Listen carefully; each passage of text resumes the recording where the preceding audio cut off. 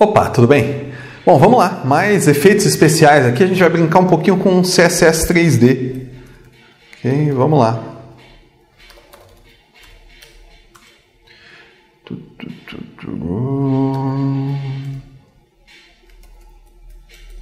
Opa.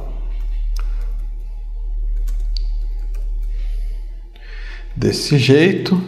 E eu vou colocar aqui um div simplesmente cujo ID vai ser card. Esse div vai ter o H1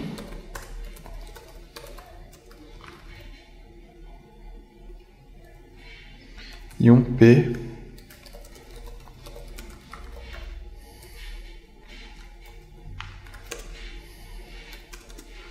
desse jeito, tá? E aí, vamos lá, vamos escrever aqui um style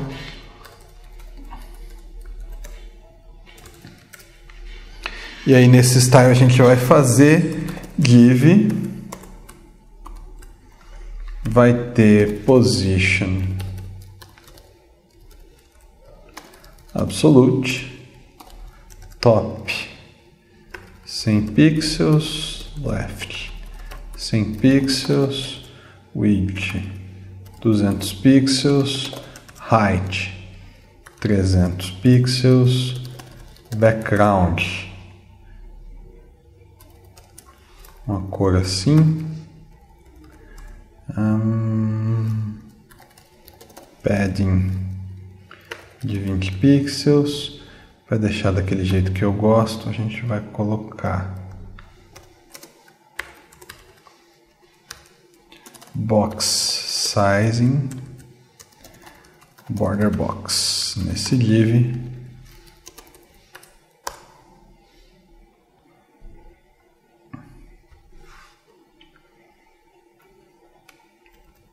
Seria legal pôr uma borda também, né?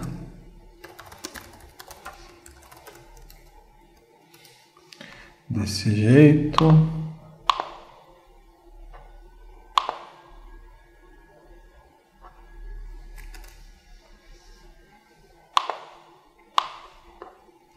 Pô, tudo na mesma janela aqui, aqui, pronto. Muito bom, tá aqui ó, meu div. Ah, vou inverter as proporções aqui porque ficou ruim de usar. Aí, melhor assim, ok? Bom, é isso aí. E agora eu vou mexer nele, mas vou mexer usando aqui o console do próprio Chrome. Então vamos lá. Vou colocar no Element Style aqui uma propriedade transform. Okay? A propriedade transform ela pode receber vários valores diferentes. E eu vou começar com os valores de rotate para você entender o básico. Tá? Então, rotate x eu vou colocar 10 deg de degrees. Okay? E vou aumentar, olha só o que acontece. Tá? Então eu estou rotacionando no eixo x esse elemento. Okay? Vou deixar aqui por 30 deg, assim mesmo. Vou colocar um espaço e vou colocar aqui rotate y e vamos rotacionar num outro sentido, 10 deg, olha lá. E vamos aumentar aqui, você entender, olha lá.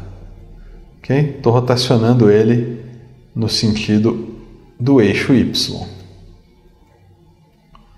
Legal? E eu também posso rotacionar no sentido de Z. Vou colocar 10 deg aqui e vou mexer para você ver o sentido Z.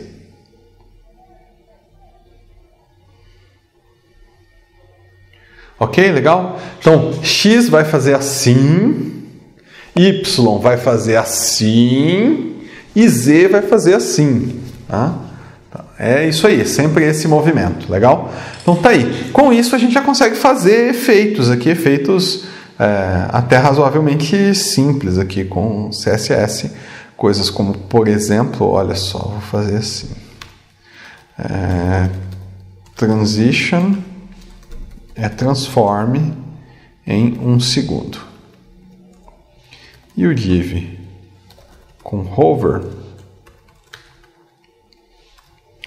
vai ter transform rotate x 20 graus, rotate y 20 graus, rotate z 20 graus. Dá só uma deslocadinha.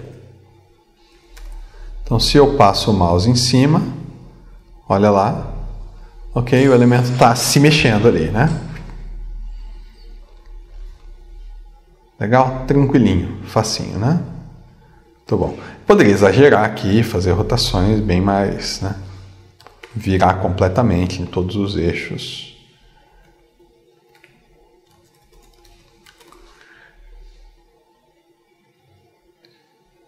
Ok? É até difícil manter o mouse em cima quando ele está rotacionando. Tira o mouse, ó. Legal? E é claro, ao invés de hover, pode ser uma classe disparada via JavaScript, tá? do jeito que você quiser aqui, não tem problema, ok? Bom, isso aqui está feito, legal aqui. Agora a gente vai mexer numa outra coisa, a gente vai incluir nesse negócio é, proporção. Então, como é que eu faço isso? Quem é o pai desse div? É o body, né? Então, no body, eu vou colocar transform style Preserve 3D. Acho que é assim, isso. E vou colocar perspectiva, eu não sei se pode pôr nele mesmo ou se tem que colocar no pai. 400 pixels. Vamos ver o que acontece. Isso aí, olha só. Então agora você está vendo que quando você faz o movimento acontecer, a gente adicionou perspectiva. Tá? Então eu vou deixar por padrão ele só um pouquinho rotacionado.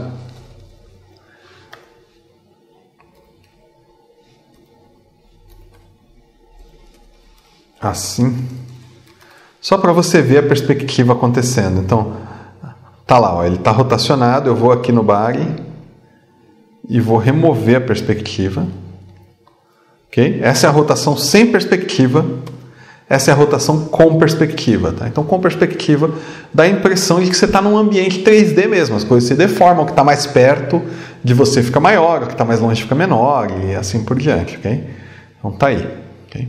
Com perspectiva, dá para brincar com outras propriedades também. Então, tem uma propriedade que eu queria brincar aqui, que você vai entender, que é a propriedade translate. Então, aqui, olha só, eu vou colocar um translate x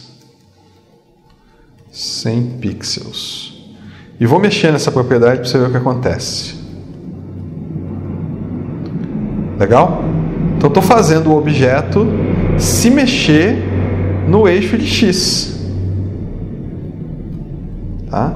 Fazer ele se mexer no eixo y. E note que isso aqui respeita a proporção. Então ele vai ficar pequeno quando for se afastando, vai ficar grande quando for chegando perto, ok? Olha aí que legal. Tá? E dá para fazer translate também no eixo Z, que vai mexer na profundidade do objeto. Então, olha só, vai chegando mais perto, vai chegando mais longe.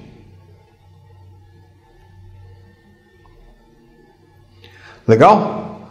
Então, com isso aqui, a gente consegue com facilidade mexer no objeto aí, fazer proporções e tudo mais. Ó, o efeito da transição e tal.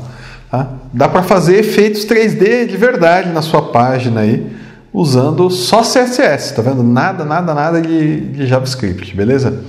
E não é complexo. Se você parar para pensar bem, tá? Você tem três eixos de rotação, três eixos de translação para poder mover o objeto. A perspectiva, o que é a perspectiva? É a distância do observador. Isso aqui é interessante, tá? talvez seja útil para você. Então eu vou lá no Bari, estou com essa perspectiva de 400 pixels, tá vendo? Eu vou chegar mais longe. Opa, mais longe para o outro lado. Então, conforme eu vou chegando mais longe, olha só, a perspectiva vai ficando menos acentuada. Se eu vou chegando mais perto, quanto mais perto eu chego, mais acentuada é a perspectiva. Então, olha essa aqui, tá vendo? Bastante acentuada, tá? Ó. super acentuada, porque eu estou colado no objeto. Né? Então, quando você está perto do objeto, a, a noção de perspectiva realmente fica bem mais forte. É isso, tá? Dá, dá, deu para entender aqui como é que funciona e tal, né?